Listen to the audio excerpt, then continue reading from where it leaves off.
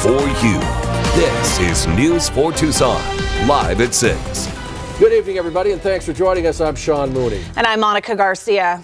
We begin tonight with a decision coming down in a major court case that has had all of southern Arizona watching the trial of Christopher Clements. So, the man accused of killing six year old Isabel Celis has learned his fate today. Let's get straight out to News 4 Tucson's Eric Fink, who's live uh, outside the courthouse with the very latest on this. Eric.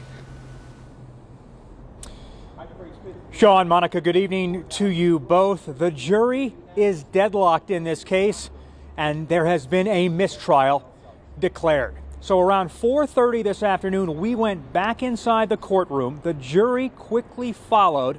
The jury telling the judge it had not reached a unanimous verdict. Judge James Marner asking the jury foreman whether or not the jury needed more time to deliberate.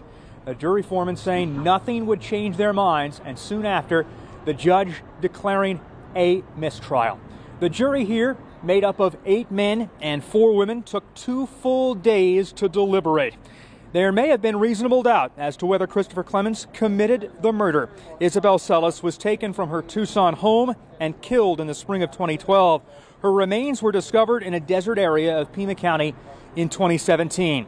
Clements is already serving a life sentence after he was convicted in the murder of 13 year old Maribel Gonzales.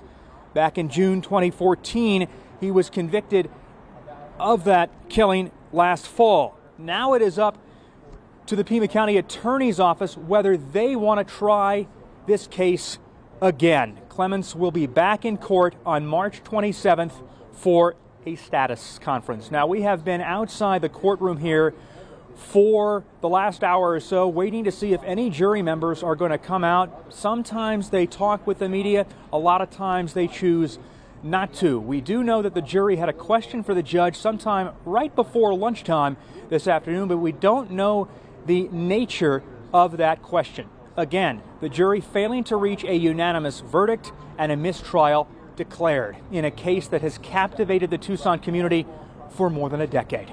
We're live tonight, downtown I'm Eric Fink, News 4 Tucson. And we will, of course, have more details as they become available in that case.